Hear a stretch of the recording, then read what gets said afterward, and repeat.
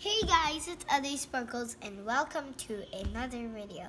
Today, what we're gonna do is Little Kid's first big book of space. We're not gonna read it, but I'm gonna talk about the terrestrial planets and the asteroid belt.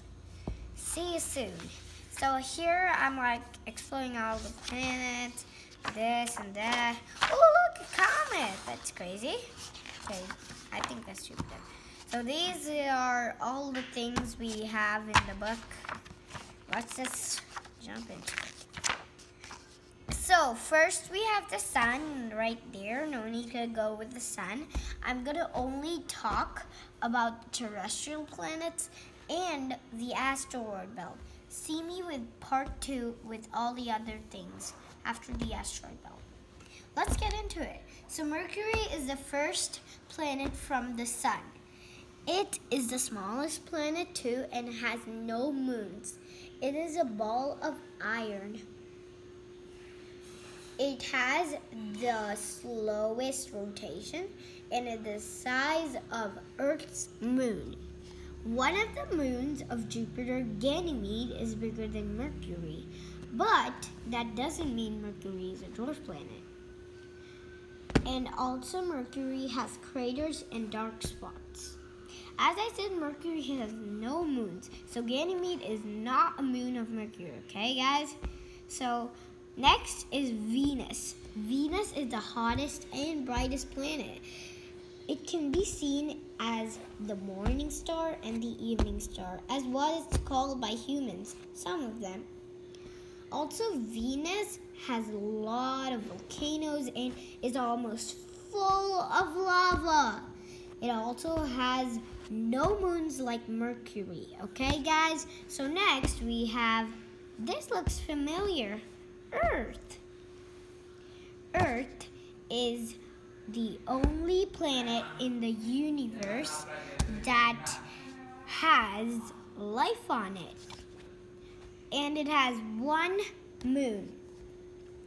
As I said, Earth's moon is the same size as Mercury. And also Venus is the same size as Earth, but spins the opposite direction of Earth. Earth is the only place you can find water, life, and other things. Earth has volcanoes and everything. It's a unique planet.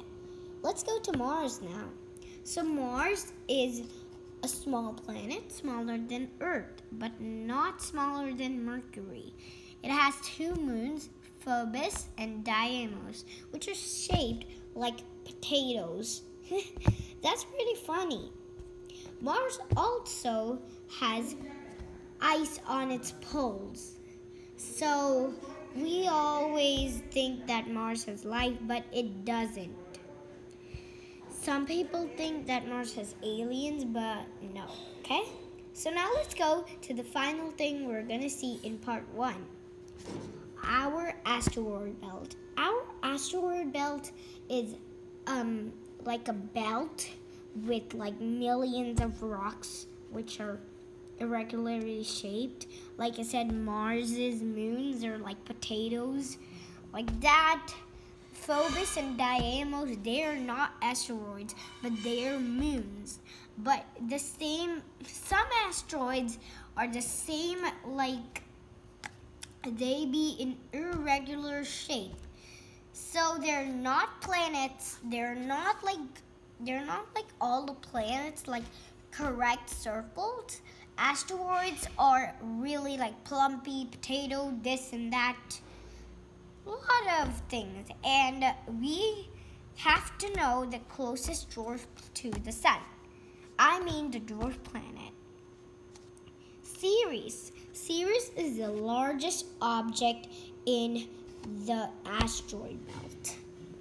Asteroid belt has a very small rotation. All the asteroids have a small hour of rotation, but in orbit, they take a lot of time. It's because of their orbit. It's so, so, so long.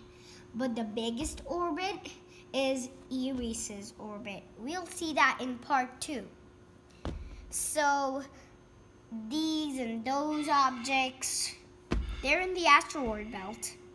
So bye guys and see me in part two. Subscribe for this video and like it and see the part two too. Bye guys!